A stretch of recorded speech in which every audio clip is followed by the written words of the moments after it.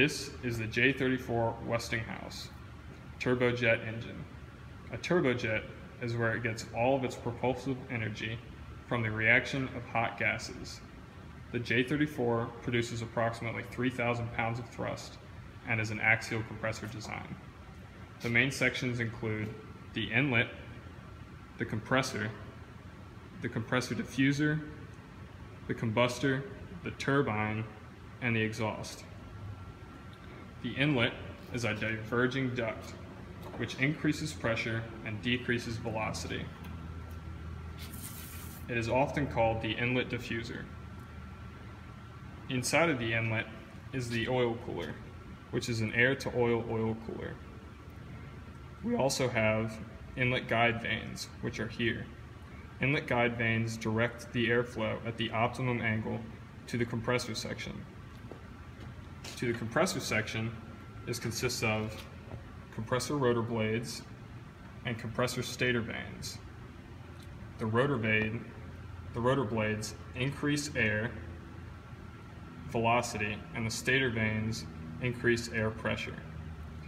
As air is moved from fore to aft through the compressor section, it is compressed more and more until we get to the diffuser section. The diffuser is a diverging duct, which increases the pressure even more before it enters the combustion chamber. Onto the combustion chamber.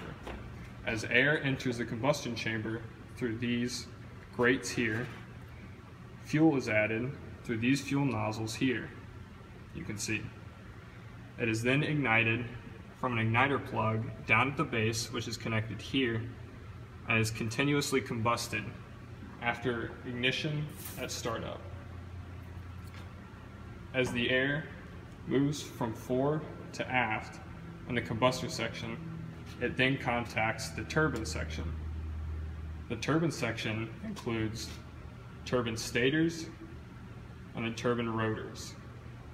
The turbine stators increase the air velocity, and the turbine rotors convert the air to shaft horsepower, then turning the shaft and further turning the compressor section. As air exits the turbine, it enters the tail cone and exhaust.